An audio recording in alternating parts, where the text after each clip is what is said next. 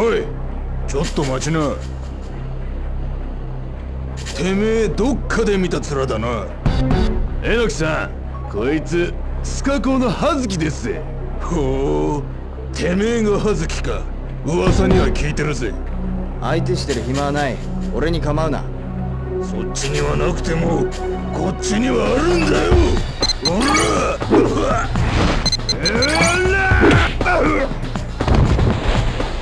やがったな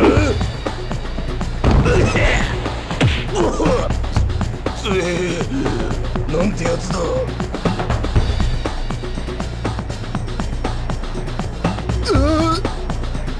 湯川って人知らないか？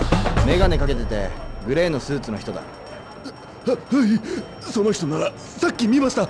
本当です。どこでだ？アジア旅行者に入っていきました。アジア旅行者。おい大丈夫か？しっかりしろ